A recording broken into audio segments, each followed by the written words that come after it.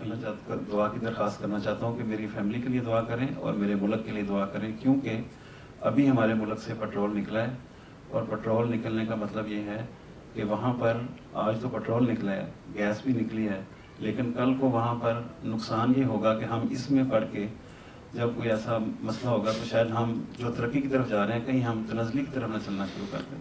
बस तेल निकला है, तेल निकला है और गैस निकली है तो इसको सही तरह ईमानदारी से जो मुल्क से, कौम से वफा का तकाजा है, उसको पूरा करते हुए उसको मुल्क की तरक्की पे खर्च करें।